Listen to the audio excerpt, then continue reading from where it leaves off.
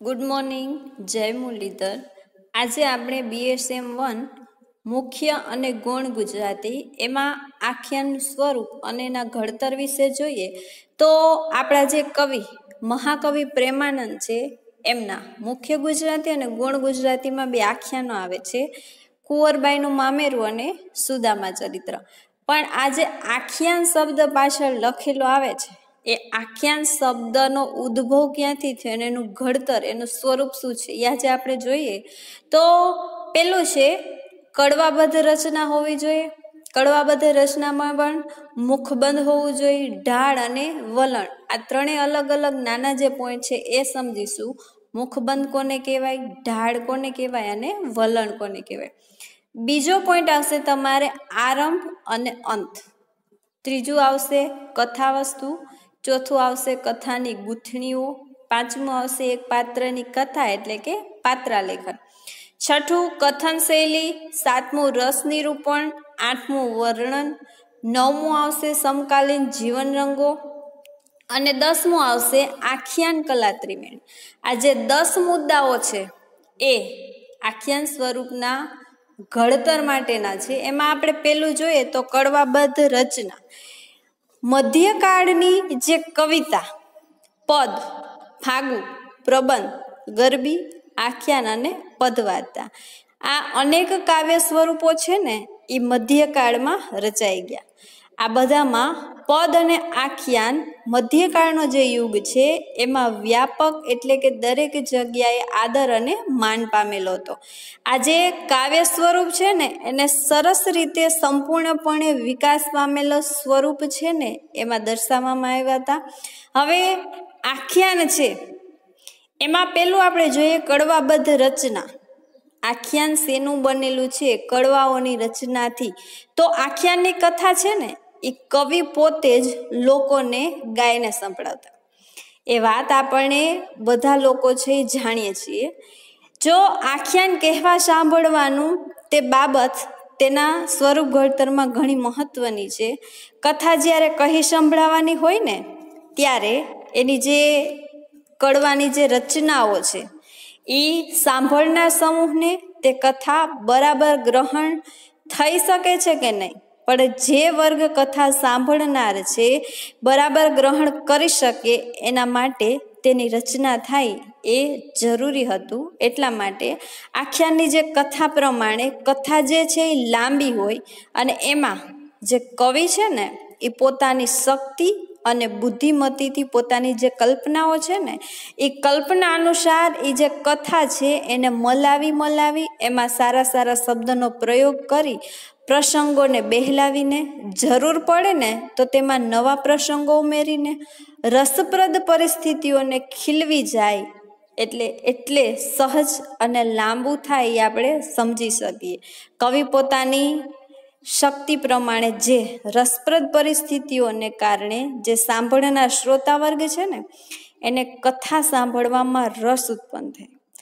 આનંદ આવે અને કથાના જે પ્રસંગો હોય, પાત્રો હોય અને પરિસ્થિતિઓ સાથે તે એકદમ ભળી જતું હોય. સળંગ કહેવા જાય ને, તો શ્રોતાઓ છે ને બરાબર ન સમજી શકે. અને જે કથા છે ને, એને શ્રોતાઓ સાંભળનાર વર્ગ છે ને માણી પણ ન શકે એ આપણે બધા સ્વાભાવિક રીતે જાણીએ છીએ. હવે આખ્યાન છે ને, એમાં એક પછી એક આવતા જે પ્રસંગ છે, એ પ્રમાણે ખંડોમાં વેચવામાં આવે. જેમ કે મહાભારત છે, એ આપણું મહાકાવ્ય, એને સર્ગમાં અલગ અલગ જે અધ્યાયો સર્ગ છે, એમાં લખવામાં આવ્યું, નાટક હોય, તેમાં અંક હોય એમાં પ્રવેશ મેળવવામાં આવે. નવલકથા હોય ને, એમાં પ્રકરણ હોય. કથા એક જ હોય, પણ એમાં અલગ અલગ ઘટના બનેલી હોય ને, એવા પ્રકરણ ઉમેરવામાં આવે. આમ દરેક ખંડમાં એક પ્રસંગ વિસ્તારીને જે અલગ અલગ નિરૂપણ કરવામાં આવે. કથાકાર જેમ જેમ એક પછી એક પ્રસંગ કહેતો જાય ને, તેમ તેમ આખ્યાન છે ને, વિકસતું જાય. અને જે શ્રોતાઓ છે એ કથા જે આખ્યાન છે એ સાંભળી અને પોતાના જીવનમાં કંઈક નવું પાયમાં હોય ને, એવો એમને આનંદ થાય. આખ્યાન સાંભળી અને ગ્રહણ કરતું જવું આખ્યાનના દરેક ખંડને કડવું કહેવામાં આવે. એ દરેક કડવામાં એક પ્રસંગ વિસ્તારથી આલેખવામાં આવેલો હોય, એમાં કડવા છે, એના ત્રણ ભાગમાં વેચવામાં આવે છે. આપણે જોયું, મુખબંધ ઢાળ અને વલણ. આ જે ત્રણ છે. એમાં દરેક કડવાની આરંભની બે લીટી હોય ને, પંક્તિ એને મુખબંધ કહેવાય. મુખ એટલે પ્રથમ મોઢાથી લખાયેલું જે કાવ્ય જે શરૂ થાય છે, એની પહેલી જ બે પંક્તિઓ છે, જેનાથી શરૂઆત થાય છે એને મુખબંધ કહેવાય. આ જે મુખબંધ છે, એમાં કવિ કડવામાં જે પ્રસંગનું સવિસ્તર જે નિરૂપણ કરવાનો હોય ને, તેની પ્રસ્તાવના બાંધે. કથા ગાય સાંભળવાની હોવાથી જે દરેક પ્રસંગ છે એ નવા પ્રસંગ માટે કડવાના જે આરંભે એટલે શ્રોતાઓને મદદરૂપ થાય. નવો કયો પ્રસંગ આવે તે શ્રોતાઓ જાણી શકે અને સાંભળવા માટે ઉત્સુક બને એને મુખબંધ કહેવાય. બીજો ભાગ આવે છે ઢાળ. જેમ કડવાની આરંભની બે કડી છે ને મુખબંધ કહેવાય, એમ જે કડવાનો મુખ્ય ભાગ છે ને મુખબંધમાં જે પ્રસંગનો કવિએ પ્રાસ્તાવિકમાં પહેલાં જે ઉલ્લેખ કરેલો છે ને, તેને આખ્યાનના મુખ્ય ભાગ એટલે કે ઢાળ, આ ઢાળ વિસ્તારથી વર્ણવે છે. સહેજ રીતે આપણે જોઈએ ને, તો કડવાનો મોટો ભાગ એટલે ઢાળ. કૃતિ જે છે એ નિરૂપણ માટે લીધેલો જે પ્રસંગ છે, એ પૂરો કહેવાય જાય એટલે કે કડવું છે ને આખે આખું પૂરું થઈ જાય. જે કવિ ઢાળમાં કહેવાય ગયેલા પ્રસંગનો ઉપસંહાર હોય ને, છેલ્લે જે વાક્ય કે છેલ્લે જે લીટીઓમાં જે ઉપસંહાર આપેલો હોય અને પછીના જે નવા કડવામાં કહેવનારા પ્રસંગનું જે સૂચન કરી લેવામાં આવે, આ બે પંક્તિના જે વલણનો રાગ કડવાના રાગથી છે એ જુદો પડતો હોય છે. કડવાનો પ્રસંગ પૂરો કહેવાય જાય ને, તે અને એની સાથે માણ ઉપર એક થાપી મારી અને કવિ દ્વારા જે રાગ બદલવામાં આવે. એ રાગ બદલાય એટલે તરત શ્રોતાઓનું ધ્યાન છે એ કવિની કથા ઉપર કેન્દ્રિત થાય એટલે કે ખેંચાય ત્યારે કડવું પૂરું થયાની જાણ થાય છે. વલણમાં તેનો સંક્ષિપ્ત સાર સાંભળી લેવાની અને નવા કડવામાં આવનારા પ્રસંગને જાણી લેવાની તર્ક છે ને એ શ્રોતાઓ લગાવી લેતા. આ કડવાબદ્ધ સાંકડી જેવી કડવાની જે રચના છે ને એ આકસ્મિક અને પહેલેથી જ સિદ્ધ થયેલી ના હોય. પણ કથા કહેવાના અનુભવથી જરૂરિયાત સમજતા થયેલા, અનેક પ્રસંગોથી વિકસેલી હતી. આખ્યાન આજે નવલકથાની જેમ વાંચવું હતું જ નહીં. અત્યારે આપણે બુક્સમાં આખ્યાન છે એ વાંચતા જ જાય. ત્યારે ખાલી વાંચવું એને આખ્યાન ન કહેતા. પણ પ્રસંગનું અનુસંધાન તૂટી જાય તો પાના પાછા ફેરવી લેવામાં આવે. આ આખ્યાન તો શ્રવણ કરવાનું છે. જેટલું આખ્યાનનું શ્રવણ કરીએ એટલે આપણા મનની શાંતિ જઈ મળે. કહેવાતી જતી કથાનું પ્રસંગવા સળંગ જે અનુસંધાન શ્રોતાઓમાં થતું રહે ને, એ માટે કડવાની રચના થાય છે. આપણે જોઈએ તો આખ્યાન કથાને અવગત કરવામાં આવે. એની યોજના છે ને એ બીજી ઘણી રીતે ઉપકારક બની શકે. એ આપણે સમજી શક્યા. કડવાની આ રચના બીજી રીતે પણ ઉપકારક છે. તો કઈ રીતે? આજના જમાનામાં નાટક, સિનેમા કે બીજા કોઈ પણ કાર્યક્રમ વખતે જેમ બધા પ્રેક્ષકો અને શ્રોતાઓ પોતાના નિશ્ચિત સમયે જેમ હાજર થઈ જાય ને ત્યારે એવું નહોતું બનતું. મોડા વહેલા આવતા શ્રોતાઓ ચાલુ કથા પ્રસંગનો તાર સહેલાઈથી પકડી શકે એટલી આખ્યાનના જે કથા પ્રવાહમાં જોડાઈ શકે ને, એવી સગવડ આ કડવાની રચનાની અને રચના પ્રકારમાંથી મળી જાય. આ રીતે જે કડવાની રચનામાં પ્રેમાનંદે ઓચિંત્યપૂર્વક જે અપવાદ કર્યો છે. શું? કોઈ એક પ્રસંગના કથનમાં જ્યારે બે જુદી જુદી પરિસ્થિતિઓ આવે ને, ત્યારે તેને જુદી પાડવા એ બે કડવા અલગ અલગ રચે. પણ તેવે વ્યક્તિ ક્યારેક એવી પરિસ્થિતિ ઊભી થઈ જાય તો તેવે વખતે તે આગળના કડવાને અંતે વલણ નથી મૂકતો. ઉપસંહાર છે એ છેલ્લે નથી મૂકતા. બીજા કડવાનો જે આરંભ છે, મુખબંધ છે, એ પણ નથી મૂકતો. સુદામા ચરિત્રમાં આપણે જોઈએ ને તો એનું સુદામા ચરિત્રમાં જે નળ, નવમું જે કડવું છે, એમાં કૃષ્ણ સુદામાની ગોષ્ઠીનો જે પ્રસંગ થાય છે ને, ત્યારે કવિએ મુખબંધની જે પંક્તિઓ છે અને પછી આખા કડવામાં કૃષ્ણના પ્રશ્નો છે.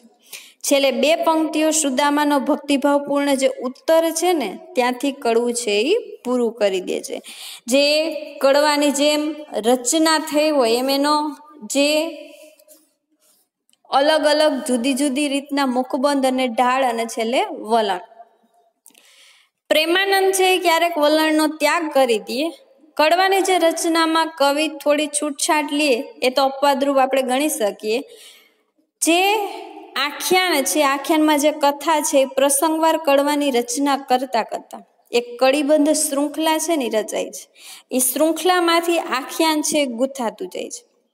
કડવાની સંખ્યા અંગે કોઈ નિયમ નથી. તમે આખ્યાનમાં જેટલી ઈચ્છા થાય, જેટલું લાંબુ કરવું હોય તમારે આખ્યાન એટલા કડવા તમે લઈ શકો.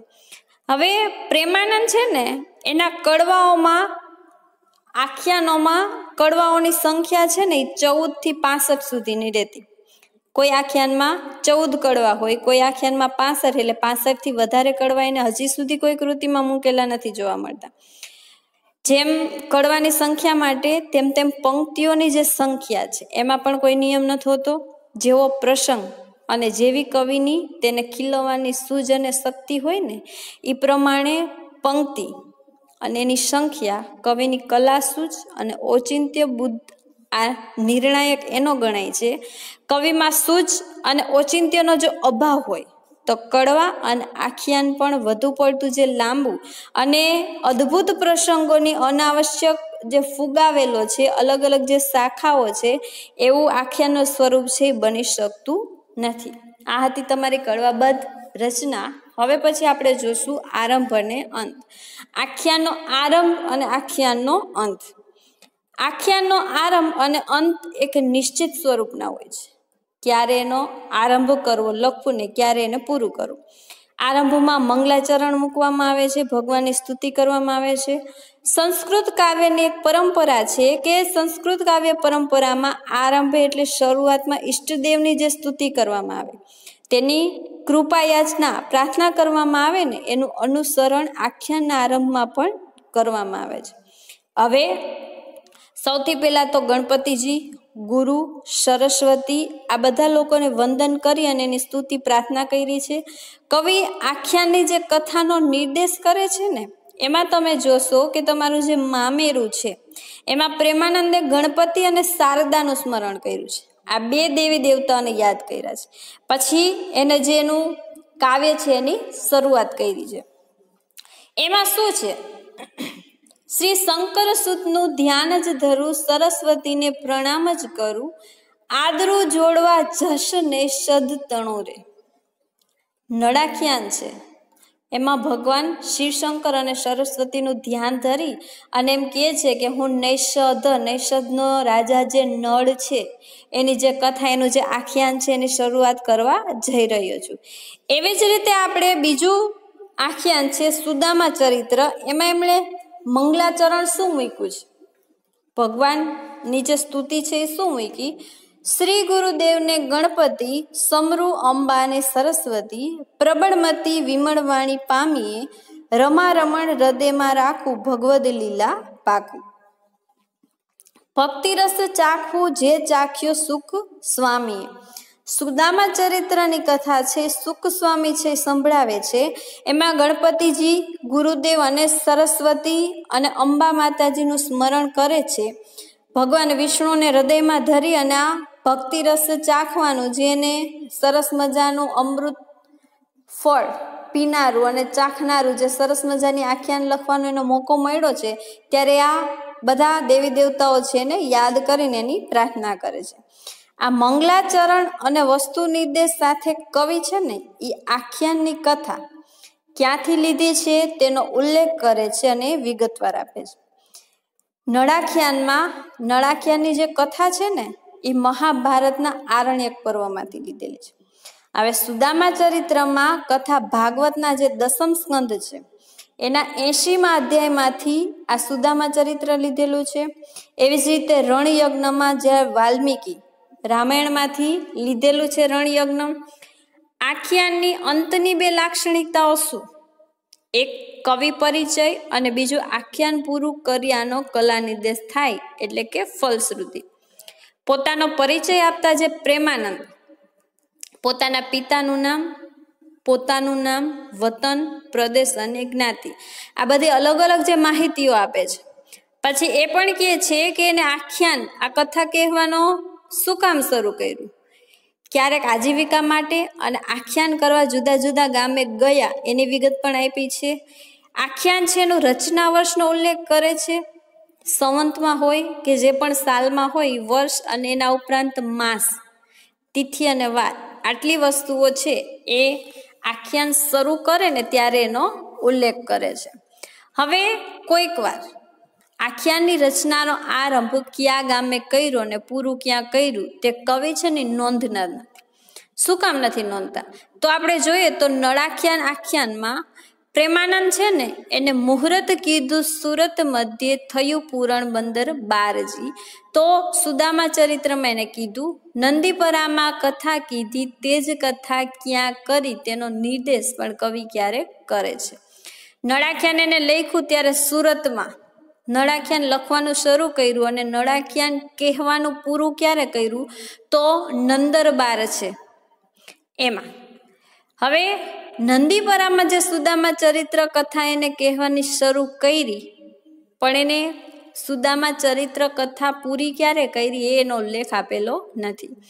સુદામા ચરિત્રમાં દુઃખ દરિદ્ર જાય, મામેરુમાં પ્રીત્ય કરીને ગાય સાંભળે તેનું દરિદ્ર જાય. આ સરસ મજાના આખ્યાનો છે, જે સાંભળે સુદામા ચરિત્ર જો કોઈ વ્યક્તિ સાંભળે ને તેના જીવનમાંથી દુઃખ હોય અને દરિદ્રતા ગરીબાઈ હોય ને, એ ચાલી જાય. એવી જ રીતે મામેરું જો કોઈ સાંભળે, તો પ્રેમથી, હૃદયથી જો મામેરું સાંભળે ને, તેનું દરિદ્ર છે ને, એ આખે આખું એના જે સંકટો છે દૂર થઈ જાય. અભિમન્યુ આખ્યાનમાં નિશ્વે વૈકુંઠ જાય એટલે કે જે જીવ છે ને, મૃત્યુ પામ્યા પછી વિષ્ણુ ભગવાન વૈકુંઠ છે એમાં વાસ પામે. રણયજ્ઞમાં આવાગમનનું દુઃખ ટાળશે, ભવ બુડતા ભૂતરોજ ભુજગ રહીને કાઢશે. એમ કથા વસ્તુને સુસંગત, ફલશ્રુતિ કથા સાંભળવાથી જે થતા લાભ છે ને, એના વિશેની માહિતી આવી ઈશ્વર શ્રદ્ધાના એ યુગમાં આવી ફલશ્રુતિના જે વચન છે ને, એ શ્રોતાઓને કથા શ્રવણ માટે પ્રેરનારા હતા અને શ્રદ્ધા દ્રઢ કરનારા નિવેડા હશે ને, એવું આપણે આખ્યાનમાં જોઈ શકીએ. આપણે ત્રીજો મુદ્દો જોઈએ, તેમાં છે કથા વસ્તુ આખ્યાનના કથા વસ્તુમાં રામાયણ, મહાભારત, ભાગવત અને પુરાણોમાં જે આવતા આખ્યાનો છે કે ઉપાખ્યાનો છે તથા નરસિંહ અને સુદામા જેવા જે ભક્ત છે, એમના જીવનમાંથી જે લેવામાં આવી છે કથા. કલાકારો દ્વારા અથવા બીજી રીતે આ જે કથાઓ છે ને લોકોમાં પ્રચલિત થઈ. આખ્યાનકારો તેને પોતાની સૂઝથી, પોતાની શક્તિ પ્રમાણે આખ્યાનમાં કલાત્મક રીતે જે ગૂંથણી કરે છે. આ કથા છે ને, એ પરિચિત હોય તેથી સાંભળીને આખ્યાન ગ્રહણ કરવામાં આવતા જે શ્રોતાઓ છે ને, એને સરળતાથી સમજી શકે. ભાલણ જેવો જે કવિ છે, એને મૂળ કથાને વફાદાર રહીને પોતાના બીજા કથાના જે રસપ્રદ અને આકર્ષક બનાવવા માટે જે કથામાં મૂળ ફેરફાર કર્યા છે ને, એ પ્રસંગોને ઉમેરીને જે કથા છે એને લાંબી વિસ્તારથી દર્શાવવામાં આવી છે. આખ્યાનના સ્વરૂપ ઘડતરમાં તેને કાવ્ય સ્વરૂપ આપવામાં આવ્યા. એમાં જે ફેરફાર છે, એમાં જે ઉમેરણ છે ને, એનો ઓછો ફાળો લીધો છે. શું કામ? આને લીધે કવિ છે પોતાના આખ્યાનની જે કથા છે ને, એને ખીલવવાની, એમાં રસ નિરૂપણ કરવાની ઘણી બધી તક છે ને એ ઝડપી લે છે. અને એવી જ રીતે કથા છે. એ કથાને કાવ્યરૂપ આપે છે અને કથાનું જે વસ્તુ છે એનું નિર્માણ કરે છે. એના પછી આપણે જોઈએ ચોથો મુદ્દો કથા ગૂંથણી. કથાના અનેક પ્રસંગોને કડવામાં જેમ ગૂંથવામાં આવે છે ને, એને કથા ગૂંથણી કહેવામાં આવે? કથા ગૂંથણી આખ્યાનનું એક મહત્વનું અંગ છે. શું કામ? તેને લીધે આખ્યાન પોતાનું સ્વતંત્ર કાવ્ય સ્વરૂપ ધારણ કરે છે. સામાન્ય રીતે મૂળ કથા પ્રસંગોના ક્રમને અનુસરવામાં આવે, આખ્યાન છે રચવામાં આવતું. છતાં પણ કુશળ જે કવિઓ છે એ કથાના પ્રસંગોની જે વસ્તુ ગૂંથણી છે ને, એના મૂળના જુદી રીતે કરી અને કલાત્મક અંશો લે અને એ જે કથા છે એને એક અલગ જ રૂપ આપે. કયો પ્રસંગ, ક્યારે, કયા પ્રસંગની સાથે સાંકળવાથી એ જે પ્રસંગ અસરકારક બને અને આખ્યાનની જે ફલશ્રુતિ અને શ્રુલિષ્ટતા એને કલાત્મક પોષક બનાવો ને એ વિચાર છે એ આખ્યાનકારનો હોવો જોઈએ. પ્રેમાનંદ કવિ જે છે એવા પ્રતિભાશાળી કવિ કરે અને એ રીતે પ્રસંગો ગૂંથતા જાય. આજે વસ્તુ ગૂંથણી છે. એની સન્મુખ સામે બેઠેલા જે શ્રોતાઓ છે ને, એની શ્રવણની જે જિજ્ઞાસાઓ છે ને, એ ઉત્તેજિત થતી જવી જોઈએ. એટલું એ રસપ્રદ બને, દરરોજ ટુકડે ટુકડે કહેવાતું જે આખ્યાન છે, એ આખ્યાન માટે કથા સાંભળવાની જે ઇંતેજારી વધે છે ને, એ જરૂરી છે, જેથી કરીને જે સંભળાવનાર, કથા કહેનાર જે આખ્યાનકાર છે. એ શ્રોતાઓના હૃદયમાં, એના મસ્તિષ્કમાં કેટલી ઉત્સુકતા છે એ ફેલાવે છે. વસ્તુ વિકાસ વેગવંત અને સંકલના કલાત્મક હોય એ અત્યંત આવશ્યક છે. પ્રેમાનંદ જેવો સર્જક જો કથાગૂંથણીમાં વૈવિધ્ય લાવે ને, તો શ્રોતાઓને રસને એક સાધત જાળવી રાખવામાં આખ્યાનને સ્વતંત્ર જે કાવ્યરૂપ આપનાર જે લક્ષણો હોય ને, એમાં વસ્તુ ગૂંથણી છે મહત્વનો ભાગ ભજવે છે. આખ્યાનકાર છે આખ્યાન લખી લે, પણ સાંભળવાવાળા જે શ્રોતા વર્ગ છે, એના મન મસ્તિષ્કમાં આખ્યાન છે એ સાંભળીને એના જીવનમાં કેવા કેવા ફેરફારો લાવે છે. આ કથા ઉપરથી એને કેટલું શીખવા મળ્યું છે કે એને કેટલું ગ્રહણ કર્યું છે એ કથા ગૂંથણીમાં આવે. પાંચમું છે એક પાત્રની કથા એટલે કે પાત્રાલેખન. આખ્યાનકાર આખ્યાન લખે. એમાં જે તે પાત્ર છે એ પાત્રાલેખન કોના વિશે આખ્યાન લખવામાં આવ્યું છે? એની જે વિવિધતાઓ છે એના વિશે માહિતી આખ્યાનમાં અનેક પાત્રોને લઈ શકાય. બધા પાત્રો, કોઈ એક પાત્ર સાથે એક કે બીજી રીતે સંકળાયેલા તો હોય જ. કથાનું કેન્દ્રીય પાત્ર તો એક જ હોય છે. તેના જીવનની કથા આખ્યાનમાં જે આલેખવામાં આવે.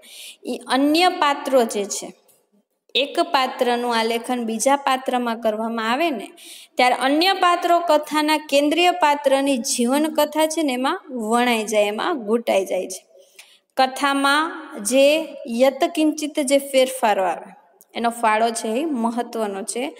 મુખ્ય પાત્રના જીવનની કથાને જો વિકસાવવામાં આવે અને એમાં જો અન્ય પાત્રને આવશ્યક રીતે લેવામાં આવે ને, તો આજે આખ્યાનના પાત્રા લેખનમાં એક અલગ જ જે ફેરફાર જોવામાં આવે. પાત્રમાં આપણે જોઈએ કે પાત્ર નળ રાજાનું હોય, અભિમન્યુનું હોય, નરસિંહ મહેતાનું હોય, સુદામા ચરિત્રનું હોય કે કુંવરબાઈનું હોય. આવા અનેક પાત્રની જીવન કથાનો કોઈ પ્રારંભ, રહસ્યને ઉપસાવવા અને આખ્યાનમાં અનેક પ્રસંગો યોજાય છે. આ અનેક પ્રસંગો અને એને સાથે આવતા બીજા અનેક પાત્રોનું જે કેન્દ્ર છે ને, એને મુખ્ય પાત્ર કહેવાય. આખ્યાનમાં મહાકાવ્યની જેમ કોઈ યુગ જીવન વંશ કે સમાજ નથી હોતો. આખ્યાનમાં એક પાત્રની કથા હોય છે અને એની આસપાસ સમગ્ર કથા ગૂંથાયેલી હોય છે. આખ્યાન એક પાત્રની કથા હોવા છતાં સમાજ જીવન એમાં પ્રતિબિંબિત થતું હોય છે. સમાજમાં રહેતા દરેક લોકો છે.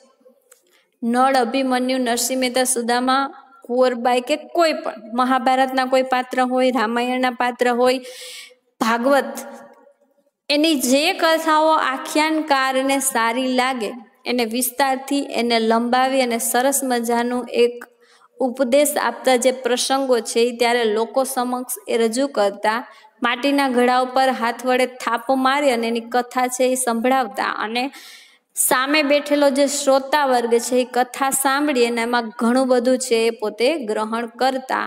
આ તમારા પાંચ મુદ્દા જોયા. એના પછીના પાંચ મુદ્દા બીજા વિડીયોમાં જોશું. ત્યાં સુધી જય મુરલીધર.